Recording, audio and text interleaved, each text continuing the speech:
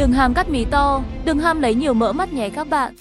Rồi, mắt bạn này thì rất là đặc biệt bởi vì đó, cái khung hốc mắt đây chính là cái phần xương này. Đó, mắt bạn này trông thế này thôi nhưng mà nó là gầy thiếu mỡ ở bên trong. Nếu chúng ta làm quá to lấy quá nhiều mỡ hoặc là lấy quá nhiều da dư thì nó sẽ làm cho cái tình trạng mắt của mình nhìn nó lại càng bị hốc hác hơn nhé.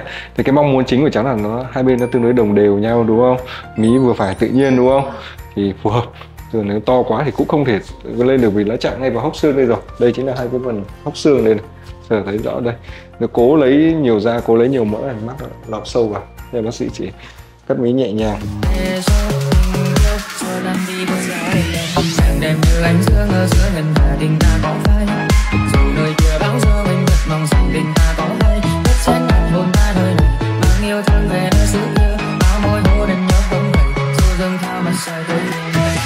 Đẹp như ánh dương ở giữa lần ta tình ta